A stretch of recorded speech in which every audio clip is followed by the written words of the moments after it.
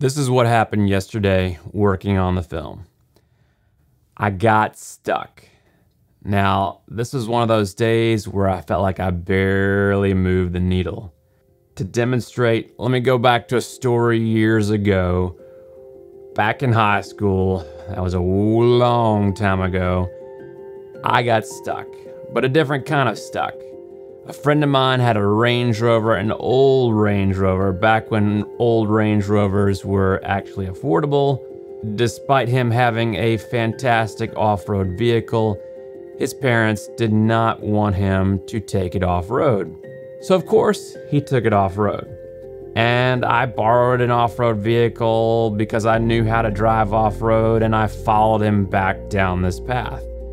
We made it about 200 yards and he got stuck. And I'm talking really, really stuck. He had mud up to the doors. It looked like solid earth, but he drove over it. I knew he was gonna get stuck. I saw the dirt. I knew that there was not solid dirt below it. He sunk down into it, mud up to the doors. He could barely open one side of the vehicle. I had to get him unstuck. I knew that if he was stuck back there, he was in big trouble. So I get as close as I can and I start to try and pull him back out of his dilemma. As I'm pulling him back, I get stuck. Now we've got a big problem.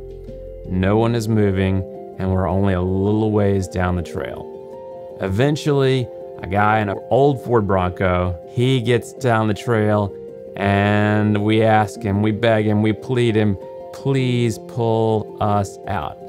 He's able to get to my vehicle and starts to slowly pull me back out.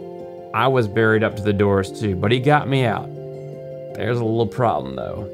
He bent his bumper in the process of pulling me out, but I did get pulled out.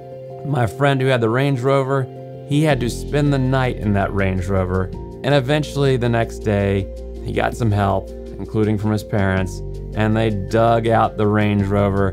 Dirt and mud eventually dried out some, and then slowly he backed it out. It was a big mess. But to get back to the point, we got stuck and barely moved the needle. Sometimes when you're writing, that happens. Yesterday, that happened to me. I got stuck and I felt like, ah, I'm not getting anything done. So, what was I gonna do? The same thing I did back then. I kept taking action. I couldn't just sit there and think about ways to get unstuck. I'd have been there all night, like my friend. Instead, I took action. I found somebody on the trail and begged and pleaded with them, please pull me out of here.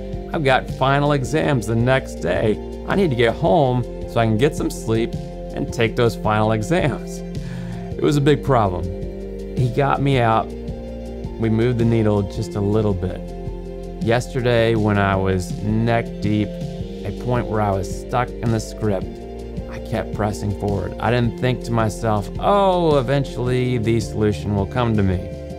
Because that doesn't work very well. It takes forever. It can happen. You can get some inspiration where you say, oh, I've got a perfect idea that will fix this sticking point in the film. But instead, I pressed forward. I didn't get very far, but I did cross that sticking point. And I like how it turned out. So I moved the needle by taking action. So I would advise to you when you get stuck, keep pressing forward.